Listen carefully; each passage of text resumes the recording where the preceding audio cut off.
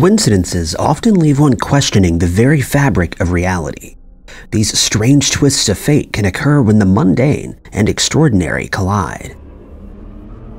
Number 10. For ages, people may have wondered and asked themselves why the moon is exactly the same apparent size from Earth as the sun. Many did not want to leave it up to happenstance, but it appears that it's just that. It's merely a happy coincidence.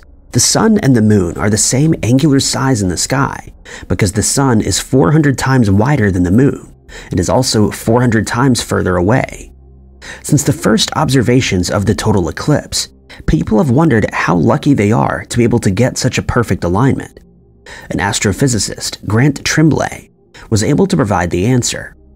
He confirmed that it was indeed a lucky coincidence and that there was no significance to the distance or the sizes. The moon is 239,000 miles away from the Earth, and the sun, all 865,000 miles of it, is roughly 400 times further away from the moon, which means it's 93 million miles away from Earth. It's here that the cosmic coincidence lies, as so said by Tremblay. Since the sun is 400 times larger and 400 times further away, they appear to be the exact same size in the sky. When those chance alignments occur, such as the total solar eclipse, the disk of the moon completely blocks out the disk of the sun. Furthermore, Earth seems to be in just the perfect place for eclipse observation, as it resides in the Goldilocks zone. This zone refers to the habitable area around a star, where it's not too hot nor too cold for liquid to exist on the surface of a planet. Paired with being in just the right region, there's also the right gravity and mix of the correct elements for life to develop and evolve sentience. It's an incredibly miraculous coincidence that the moon would fit so perfectly to block out the sun, given that there's no physical reason for this to be the case. While the alignment of the celestial objects, such as the Earth, Sun, and Moon, is a normal occurrence within the solar system, its creation of eclipses on Earth is a unique feature. Other planets also experience alignment with the Sun, but none of them have the added coincidence of the size and distance. It's all thanks to a strange yet wonderful co-occurrence between size and distance that we're able to view something as spectacular as an eclipse. Number 9. Coincidentally, three major earthquakes have struck Mexico on the same day in different years. The first had been on the 19th of September in 1985, then again in 2017, and finally 2022. The last two had come within an hour after the earthquake drill that was conducted every 19th of September in commemoration of the devastating 1985 incident. On the morning of the first major earthquake, the magnitude was 8.0, which devastated central, southern, and western parts of the country. The 2017 earthquake had measured a magnitude of 7.1 with less fatalities. The 2022 event had left houses, schools, and health clinics severely damaged. At least 200 buildings sustained some disfigurement and reached a level 7.4 on the Richter scale. Jorge Ornelas, a call center coordinator, had said that if citizens keep thinking that this is going to happen every 19th of September, then it's going to keep on happening. A researcher in seismology explained that there's no physical coincidence for these earthquakes occurring on one day in different years. There are five tectonic plates under Mexican territory the North America, the Pacific, the Rivera, the Caribbean, and the Cocos. The 1985 occurrence was the result of an interaction between the Cocos Plate and the North American Plate. A United States Geological Survey seismologist, Paul Earle, had confirmed that there's no reason that earthquakes would be biased in any given month. This coincidence has led to a rise in anxiety. Upon the 2022 incident, a local resident of the local Roma neighborhood, Isa Montes, had stated that it seemed like a curse, saying, quote, There's something about the 19th. The 19th is a day to be feared, she said. This time, the earthquake had been so strong that a tsunami warning was issued afterward to the coastal areas. While there's no physical reason for the earthquakes to choose this specific day to strike, Mexico is one of the most active seismic areas in the world and is positioned upon the three largest tectonic plates. The probability of these natural disasters occurring on the same day in different years had a likelihood of 0.000751% and 0.0000024%. In order to calculate such a probability score, various assumptions were made. Since earthquakes are random, they're just as likely to strike on one day as another. They're separate independent events, and each year, an earthquake that measures a magnitude of 7 or more hits Mexico City. Using such an assumption, the physicist at the National Autonomous University of Mexico, Jose Luis Mateos, had calculated 1 in 365 by 1 in 365, giving him 133,335, or 0.000751%. He explained that it was an incredibly low probability, but mathematician Luis Gonzalez argued that the chances of three earthquakes occurring on the same date in Mexico were significantly lower. He had taken into account that 60 earthquakes had occurred, measuring seven or more in the last 120 years. He divided the number of earthquakes by the number of days between 1900 and 2022. He concluded that the chance of an earthquake with a magnitude of 7 or higher striking on any day during that period was 0.13386%. According to such calculations, the likelihood of it happening three times on the same date was 0.000000024%. The National Seismological Service has stated that the coincidence of the dates of the occurrences has opened new lines for scientific research. New questions require answers, but there's currently no scientific reason as to why these events would occur this way. Number 8. In an unlikely coincidence, a misinterpreted anagram ended up predicting that Mars has two moons. It was the morning of the 25th of July in 1610 when Galileo Galilei, the natural philosopher, astronomer, and mathematician, had pointed his telescope at Saturn and found that the planet appeared to be flanked by round bumps or bloops on either side. But the telescope was not advanced enough to pick up exactly what he had seen. This observation is now being credited as being the earliest description of the rings of Saturn in the history of astronomy. He knew that he'd witnessed something special and wanted to tell others about it. He wanted to announce it and secure credit for his discovery. Galileo would go on to send letters to his friends that were far from straightforward. They were encrypted anagrams, jumbled letters, which, when correctly arranged, spelled out the Latin sentence I have observed that the highest planet is threefold. At this time, the highest planet was considered to be Saturn. Galileo had been unaware that he discovered the planet's rings, and therefore described that it was somehow divided into three parts. Announcing his discovery in the form of an encryption may have bought the astronomer more time to continue observations, but such inscriptions are subject to easy misinterpretation. One of the individuals to whom Galileo had sent the letter was a German scientist, Johannes Kepler, who was also an astronomer and had discovered three major laws of planetary motion. He had also followed and was in support of his friend's work, so when the coded letter found its way to his home, he immediately set to work to solve it. But he'd gotten it entirely wrong. Kepler had rearranged the letters to form the Latin sentence, Be greeted, double knob, children of Mars. The solution was clearly erroneous, but he believed that he'd solved the riddle correctly, and the discovery had proven a theory that he for months had been contemplating. In 1610, Galileo had also found the four moons of Jupiter. This announcement had led Kepler to assume that the Earth has one moon, and Jupiter, which was two places out of Earth, had four. Sitting between the two is Mars, which he theorized to have two moons, maintaining the balanced celestial sequence. Along with the misinterpreted anagram and the incorrect assumption by Galileo that Jupiter only had four moons, the astronomer had deduced that Mars had two moons, which was entirely correct. This theory, though, would only be proven long after his passing. The two Martian moons, Phobos and Deimos, would go undiscovered until 1877 by Asaph Hall, the American astronomer.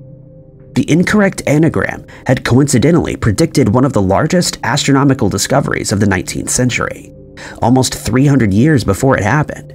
And this was not the only time he had done this either, according to legend. Stories emerged that Galileo had sent him a second message, which he discovered that the planet Venus had phases and did not emit light itself, but shone due to the reflection of the sun.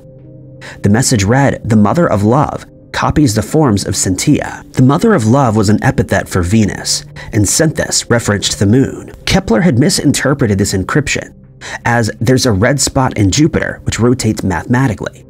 By mere coincidence, Kepler had mistakenly predicted the discovery of the Great Red Spot of Jupiter more than two centuries before it had been officially discovered. Number 7. Robert E. Lee was a Confederate general who operated during the American Civil War. He would later be appointed the overall commander and had led the Army of Northern Virginia, the Confederacy's most powerful army, until its surrender in 1865. It was also Lee that issued the Special Order 191, later known as the Lost Order, before the Battle of Antietam. This order dictated the entire strategy of the army in a massive operation. General Lee had detailed the routes of which his army was to take upon the invasion of Harper's Ferry.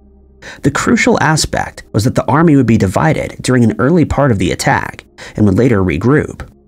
Lieutenant General Thomas Jackson was to lead the group and capture the Harper's Ferry, while Major General Daniel Harvey Hill was to guard the rear. Eight copies of said strategy were produced by Lieutenant Colonel Robert H. Chilton, the Assistant Adjutant General. These copies were made three miles south of Frederick, Maryland, and were transcribed before being sent to each of the generals involved, as well as to President Jefferson via courier. One of these copies would become lost and discovered by Union troops four days after the delivery was set. It had been discovered in a farm a half mile north of Lee's camp, wrapped around three cigars that were lying in the grass in the recently vacated campground of which General had commanded. There are three likely candidates for who lost this copy.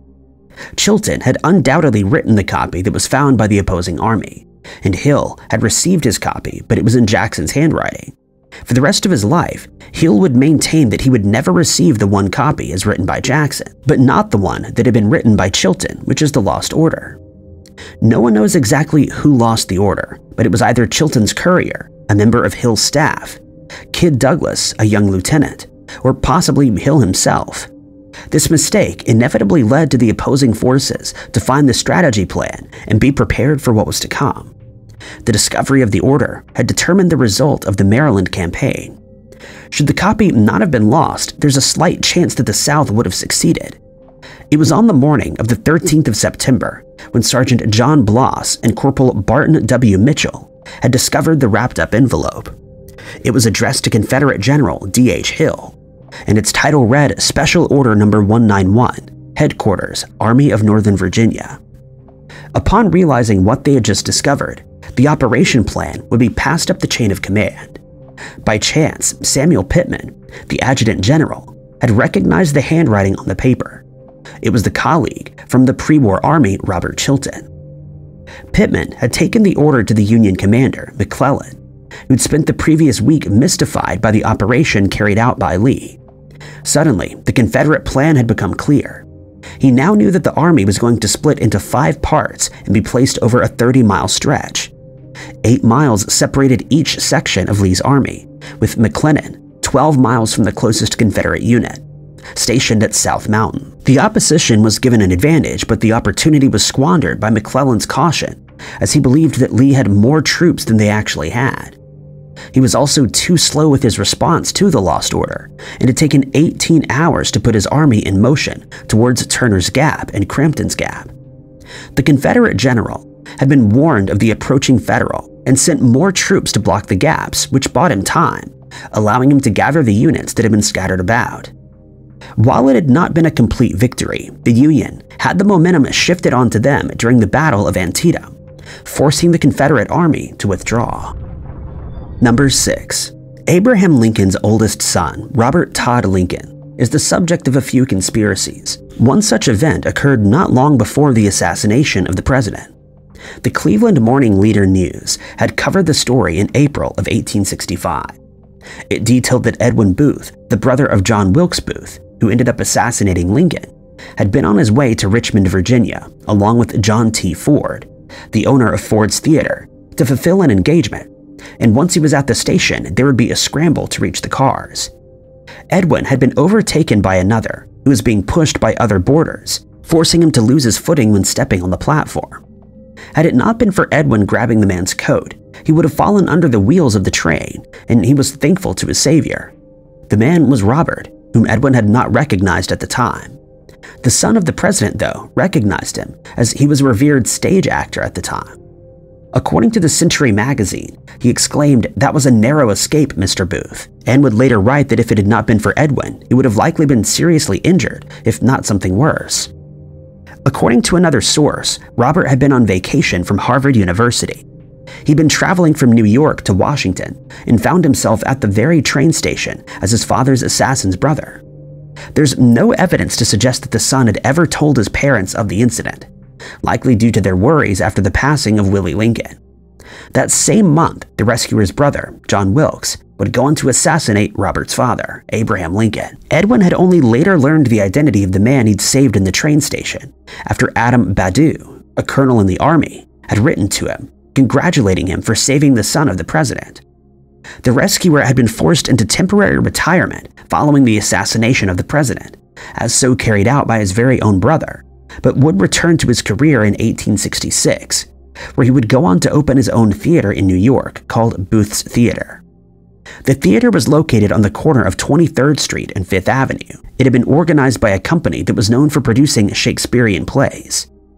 After becoming bankrupt, he would lose his theater in 1874, but quickly rebounded, aiding in the formation of the Players Club, a gathering for actors and eminent men.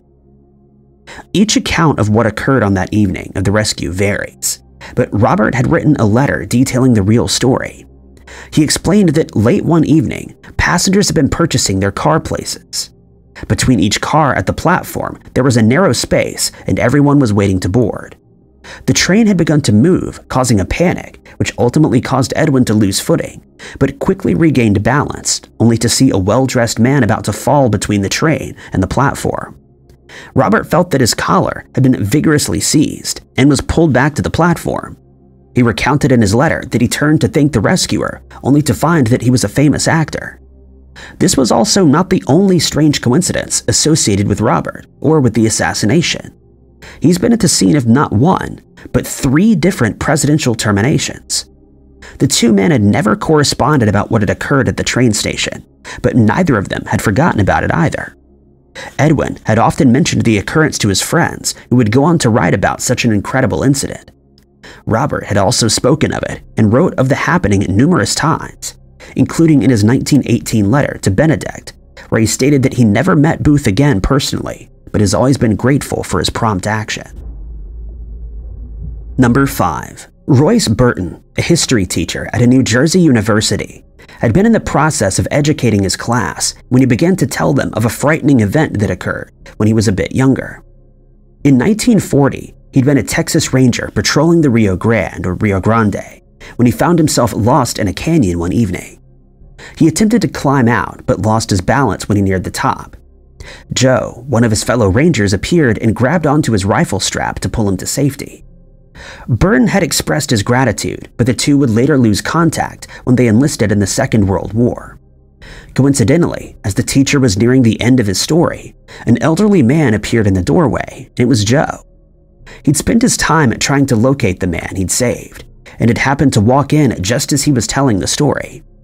25 years after they'd last seen one another, Burton went on to let the fellow ranger finish the story. The university students sat astonished after witnessing the men's reunion. This sort of coincidence is known as synchronicity, a term coined by Carl Jung, a Swiss psychiatrist and mystic. Synchronicity refers to an occurrence that happens with no apparent cause and affection relation, but is connected by meaning. James Hollis, an analyst and author, explained that everyone has experiences such as these. Hollis also knew Burton and mentioned his story in a book titled Hauntings Dispelling the Ghosts Who Run Our Lives. He explained that we live in a haunted world where the invisible energy is always at work. Burton and Joe's story was an incredible coincidence, but synchronicity describes it perfectly. While it had been said that Joe had spent the last 25 years trying to track the man down, walking into the classroom at the exact moment that the person he saved was telling the story was a one in a million coincidence. This occurrence was meaningful, as are most coincidences, as so described by Bernard Beitman, a psychiatrist who detailed such events in a book called Meaningful Coincidences How and Why Synchronicity and Serendipity Happen. This amazing coincidence, of course, brought about skeptics, as did the idea of synchronicity. but for the individuals who experienced it, it was magical and mind-boggling. Number 4. Frank Morgan is well known for the five different roles he played in the 1939 film version of The Wizard of Oz in the Emerald City. He'd been the cabbie who drove the horse of a different color. He was a guard entrance at the palace as well as the doorkeeper, the wizard himself, and had played Professor Marvel in the Kansas sequence. The makeup and costume designs that were used in the film had gone through various changes and revisions before and even during it. Before the filming had begun, the actor would go for various test shots, one of which occurred on the 17th of November in 1938. This was a test for Professor Marvel's makeup, and six days later he would do the same thing again, this time with a different jacket, tie, and hairstyle. That very jacket is the subject of a coincidence. It was said that the coat had been selected from a second-hand shop, as something more tattered was needed for the character's portrayal. It was alleged that the very coat had once been owned by L. Frank Baum, the author of The Wizard of Oz. It seemed that fate had it that the jacket be used in the very film that its author had written. Initially, the story was thought to be a fib, as told by press agents who wanted their story in print, but the event would be featured and affirmed in the book The Making of the Wizard of Oz. The story had also been vouched for by the cinematographer Hal Rosson, his niece Helene Bowman, and Mary Mayer, the unit publicist. It was Mary who explained that they wanted a decent looking coat that was tattered, and so the wardrobe department would go looking for such a coat at a secondhand store on Main Street. It was not just one coat they bought, but a whole rack full. Morgan and the wardrobe man stood together to pick one. The chosen coat was a black broadcloth with a velvet collar. Bowman commented that it was ratty with age and had a green look to it. The coat was a perfect fit for the actor and had just the right amount of shabbiness. One afternoon, he turned out one of the pockets, and inside was the name L. Frank Baum. Mayer exclaimed that she made contact with the tailor in Chicago and sent him images. He in turn responded with a letter stating that the coat had been tailored for Frank Baum. The author's widow had further identified it as belonging to her late husband.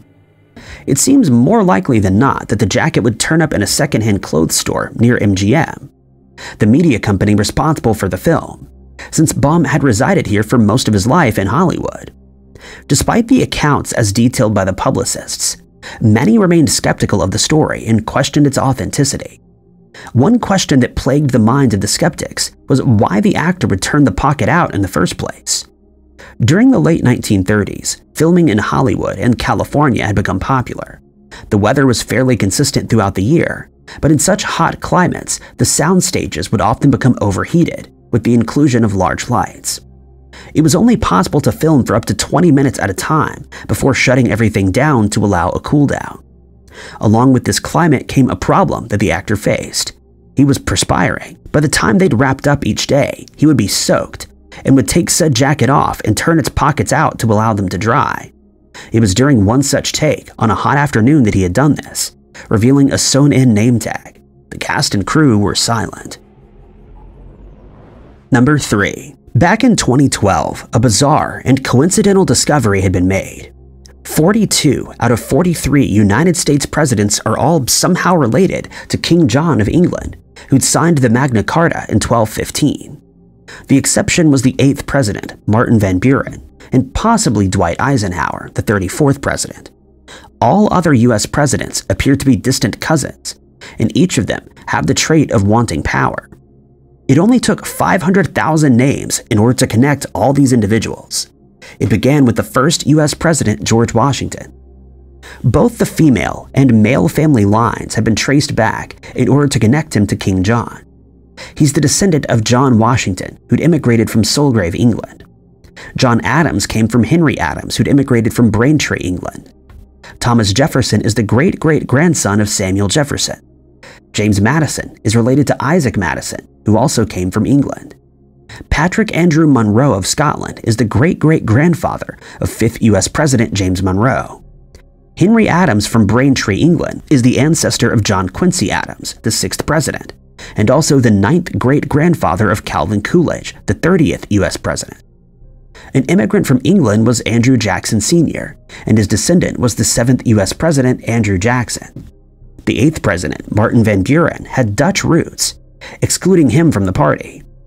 William Henry Harrison is a relative of Benjamin Harrison, who came from England. The 10th president, John Tyler, had links to England through Henry Tyler. James K. Polk was the descendant of another immigrant from Lifford, Ireland, as was Zachary Taylor, the 12th U.S. president. Millard Fillmore came from John Fillmore Sr. of England, and Franklin Pierce was the descendant of Thomas Pierce from Norwich. James Buchanan was the resultant from James Buchanan Sr. of Ramelton. The 16th president, Abraham Lincoln, had been a grandson of Samuel Lincoln from England. Andrew Johnson has English, Scot Irish, and Irish ancestry.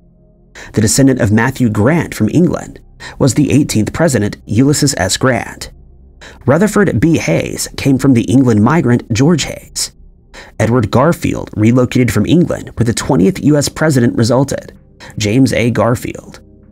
The list continues all the way through to Barack Obama, who's the 25th great grandson of King John. Each generation that one goes back, the set of grandparents doubles. Going back 20 generations results in 40 great grandparents and many cousins, which makes the entire ordeal seem a lot more likely. Every one of the US presidents has ancestors that had come from the British Isles, which makes them each quite distantly related. All of them are also the descendants of Alfred the Great and William the Conqueror. King John had lived during the 12th century and went on to have five legitimate children and a dozen illegitimate. In a matter of just a few generations, he would have thousands of direct descendants, which would continue to increase over the centuries and connect most of the people in Britain to him. Given that most of the United States presidents have great great grandparents who had immigrated from England, making it more likely for them to be somewhat related, and coincidentally, they all became presidents. Number 2. On the 18th of May in 1804, the French Senate went to proclaim Napoleon I as the Bonaparte Emperor. It was a few years prior to this that the French had flown the first manned hot air balloon as well as the first hydrogen balloons. The public had been enchanted by these inventions, and they began to appear in designs on dinnerware, wall hangings, and chandeliers. The mania pressed on right through the French Revolution, Upon the very first flight, Ben Franklin had come to the suggestion that these creations may be carrying invading armies. On the 2nd of June in 1794, the Army had sent one balloon several hundred feet up on a tether for the purpose of locating enemy artillery. Initially, the enemy had regarded this as a breach in the etiquette of war, but they soon modified their artillery in order to bring such balloons down. Hot air balloons became a dangerous yet glamorous addition, but it was short lived. When Napoleon came into power, he brought with him an old war conservatism regarding war and how it's conducted. He'd been the one to authorize a small balloon factory and had taken one with him on an ill fated campaign to Egypt. After taking control of France through a coup, he shut down the balloon school and decided to conduct more conventional warfare. It was thereafter that a strange and coincidental thing had taken place. In 1804, upon his crowning, he hired a French balloon pioneer named Andre Garnerin. Garnerin was tasked with building a large but unmanned balloon for the crowning of it. It had been decorated with a large crown of blazing lights. It was released and took a journey to Rome without guidance before landing on Lake Bracciano just two days later. But it didn't land until the crown had been snagged on the tomb of Nero. It had broken off, and Napoleon's crown was gracefully placed upon one of the worst ever emperors in the history of the world. Napoleon, of course, was not amused and subsequently fired Garnerin. He viewed the event as a bad omen and would prohibit the use of a military balloon. It was only six years later that they would reappear and find their place in the war again. Nero had been the fifth Roman emperor and had been the last of its first dynasty. He's notorious for his cruelty and had ruled in a time of great political and social change. During the first five years of his reign, he had good advisors and would even let injured civilians stay in his palace. He'd only taken an interest in his art and not in ruling the empire. But during his time in power, he would prosecute individuals such as St. Peter and St. Paul. Historians have also alleged that he'd eliminated not only his mother, but two of his wives as well. It would also be said that he'd intentionally eradicated an area to make a place for his luxurious palace. A chain that was found in Anglesey had bore witness to a culture of horrendous exploitation. While many stories of Nero's reign are the subject of propaganda, it was certainly enough for Napoleon to see the coincidence as a bad omen. Which caused him to banish the use of hot air balloons in war and even fire the man who'd created the one he unleashed during his crowning. Number 1. Calculus refers to a branch in mathematics that deals with rates of change, and it appears that it was bound to be invented. Two individuals who'd not known one another had created it simultaneously. If one had failed to invent this branch of mathematics, it would still exist today. The coincidence is referred to as the Leibniz-Newton controversy. This is because back in the 1660s, Isaac Newton and Gottfried Leibniz had both independently created calculus. The phenomenon is also known as multiple discovery, which seems to have happened often enough for it to be named. In 1666, Newton had described his differential calculus and the method of fluxions in a written paper, which was not published until decades later. Mathematical Principles of Natural Philosophy had been published in 1687, which had included theories relating to motion and gravitation, which made use of calculus to formulate but his method of fluxions did not appear in print until 1693. This had been after Leibniz had published his first calculus paper in 1684 and alleged that he discovered it in the 1670s. An English mathematician named John Wallis, however, made a rather controversial statement in 1695, where he suggested that Leibniz had learned calculus through Newton. This claim would later be proven false, in response to this offensive assumption, Leibniz argued that certain mathematical problems could only be solved by his version, which in turn caused another mathematician, Fatio de Duillier, in 1699 to accuse him of plagiarism. In 1712, the Royal Society had written a report purporting a settlement of the matter, but the whole investigation had been directed by Newton himself. The results stated that Leibniz had concealed knowledge of the work as carried out by Newton, a result that has now been proven false. Leibniz, in turn, then accused him of stealing his work and making errors in its application. This back and forth dispute would continue up until the 1716 passing of the mathematician. Both of them had been responsible for mathematical discoveries, and who would come up with calculus would remain controversial. As previously mentioned, this sort of coincidence has a name multiple discovery.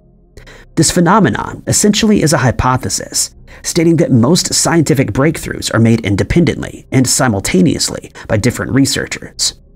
Test cases have included the invention of calculus by Newton and Leibniz, along with other cases including the invention of the telephone by Alexander Graham Bell and Elisha Gray, the theory of natural selection as developed by both Charles Darwin as well as Arthur Russel Wallace, the hypothesis is a concept of evolution, of scientific thinking as a social development, which has highlighted how scientific advances have stemmed from original insight and have resulted in social processes. The mathematics that made calculus possible had already existed in Newton's day, so if he ever wrote down his ideas, the discovery would have still occurred. Similar occurrences have also led researchers to believe that one important discovery makes the closely related discoveries possible. Society is full of a sufficient number of researchers, and scientific advances will continue to be made quickly, more often than not by multiple different people. Thank you guys so much for watching. If you liked this video, be sure to hit that like button. Also, don't forget to subscribe and click that notification bell to keep up to date with all of our future uploads. But my name is Ty Notts, and I'll catch you guys in the next video.